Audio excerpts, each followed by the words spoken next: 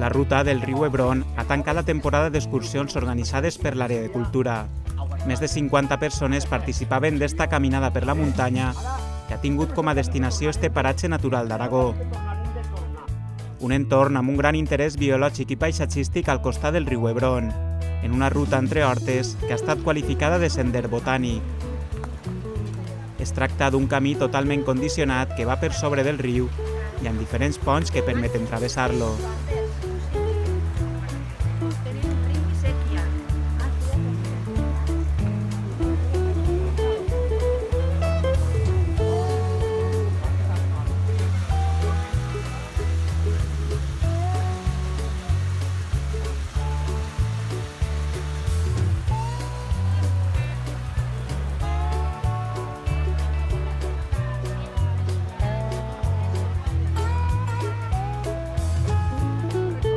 Diferents passarel·les que salven el pas del riu.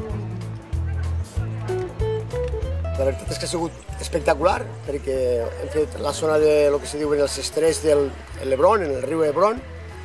És un riu que té la...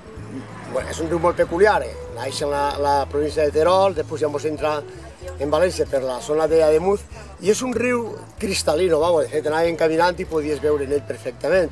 Entonces, en esta zona que hem estat, és entre Tormón i el Cuervo, pues és una, és una zona que vas per al costat del riu, té algunes passarel·les elevades i li dona un encant especial. Ha sigut una ruta molt agraïda. Vistes espectaculars i un entorn verd per a tancar la temporada d'excursions. A més, un oratge per agrair estos dies i és que a Terol han pogut gaudir d'un temps fresc. Han estat 10 eixides les que s'han fet en guany i totes elles han tingut una bona resposta de participants.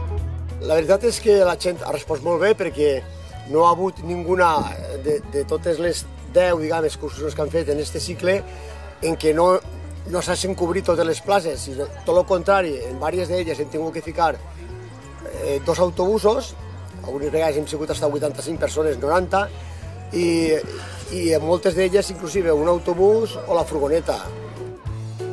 Una bona resposta que no està diferent en esta última eixida, que ha permès gaudir d'un dels millors paisatges de la temporada.